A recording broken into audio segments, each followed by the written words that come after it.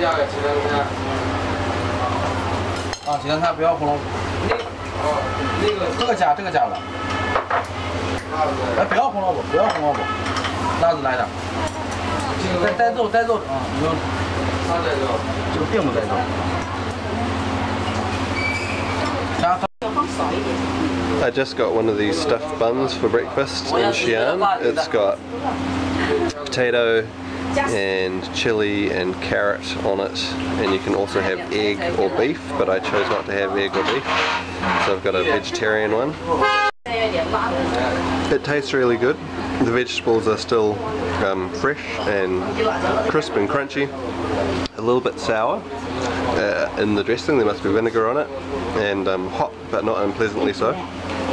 A little unusual for breakfast but um, really good.